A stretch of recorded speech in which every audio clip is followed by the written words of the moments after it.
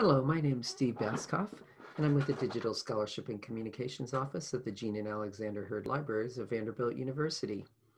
In this lesson, we're going to pick up where we left off in the last lesson with more information about data wrangling, and we'll end the lesson talking about piping and how that's used to streamline the flow through your R scripts. If you came to this video by some means other than our lessons page, you might be interested to know that this is a part of a series of lessons called CodeGraf. You can find out more about these lessons by going to vanderbilt.lt slash codegraf. We are going to continue with looking at how we can change tibbles from one form to another we introduced the dplyr package last time, and this time we're going to look at several built-in functions that can be used uh, in addition to the ones we learned about last time. So the ones that we learned about last time were filter, select, mutate, and transmute.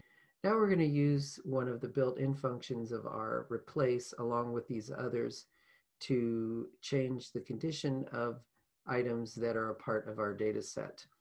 To explore these new functions, I've created a small data set of fake grades data, and we're going to pretend that we are a teacher trying to analyze some grades from a class. So I created the spreadsheet in my normal spreadsheet program and then saved it as a CSV file and uploaded it as a GitHub gist we will be able to use these data in our script by clicking on the raw button and then copying the URL from that raw file so that we'll get the raw CSV data into our program.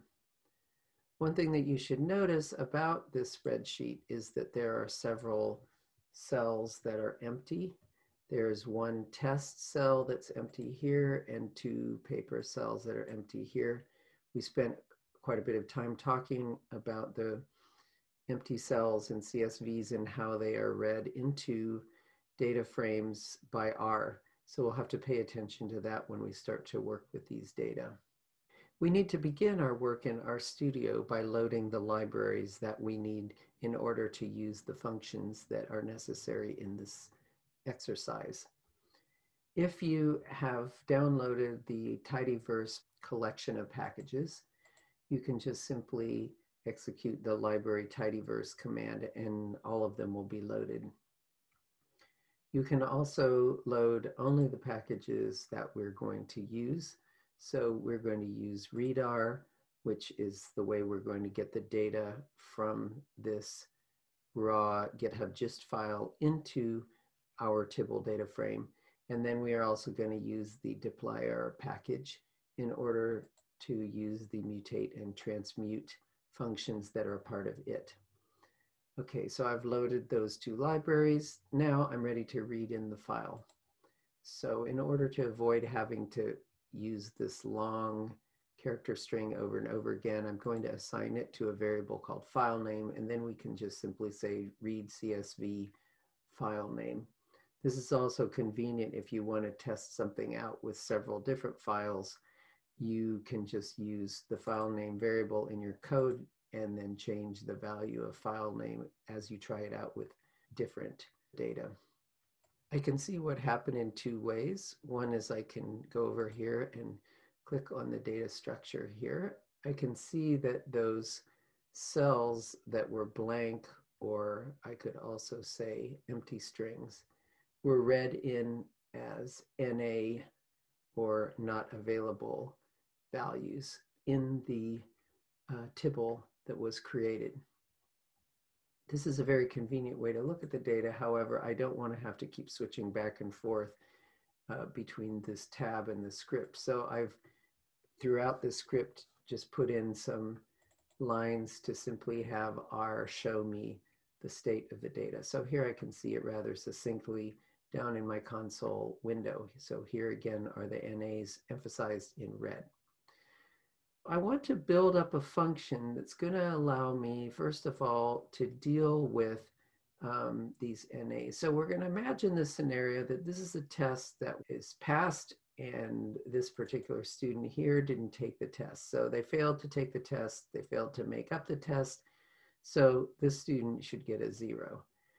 Um, I'm gonna actually treat these NAs over here for the paper differently because those we're gonna pretend are from a paper that um, students have until the end of the semester to finish. So these actually are missing data. They, we, we expect those data to come in later on. We just don't know what they are right now. So these NAs are correctly identified as missing data, but this NA actually should be a value of zero. So what I'm going to do here is to use this function isNA, which we saw before. First, I'm going to have R tell me what the values are in the grades column. So the grades column is effectively a vector, and here I've asked R to show me what is in that vector, and here's what I have. If I use the isNA function on this vector, then I will produce a series of Booleans that correspond to each of the items in the vector. And that Boolean is going to have value based on whether the item in the vector is an NA or not. So I can see the first three items in the vector are not NAs, so it returns false. But the fourth item in the vector is NA, so it returns true.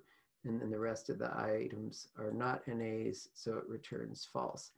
So when I carry out the isNA function, I generate an, a uh, vector of values that has the same number of items as my original vector, except that the values are Booleans. Each one of the Booleans corresponds to the same relative position in the original vector.